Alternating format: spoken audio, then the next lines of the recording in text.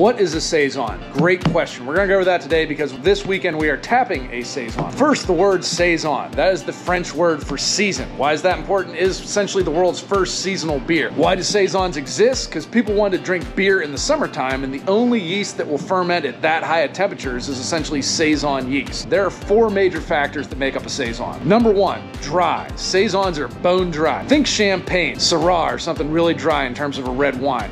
That's what a Saison is. The yeast eats up all the residual sugar and none of that maltiness, richness that you get in a stout is left there. So bone dry, number one. Number two, they're usually very highly carbonated. The bubbles are kind of awake on your palate. Number three, and this one's probably the most important one next to dryness, is the yeast. The yeast play the major role in the flavor of this beer. It isn't like an IPA or a stout. Uh, stout's gonna be the malt, IPA is gonna be the hops. This is the yeast. The yeast can make this sour, can make it funky, can make it a whole bunch of other stuff. Number four, and this one's almost impossible to describe. This one is why beer judges kind of hate this style because there's no way really to define it. It needs to be rustic, farmhousey, weird, funky, a whole bunch of different words that aren't flavors that go into a Saison. You don't know it until you kind of drink it type of thing So if you want to try Saison, we got one on tap this weekend. We'll have another weird one available for our anniversary in a couple weeks. It's not a popular style of beer, but it's one if you've only had once or twice and you didn't like it, try it a third, fourth, or fifth time because they're all wildly different in terms of flavor that you get from Saisons. Thank you. Cheers.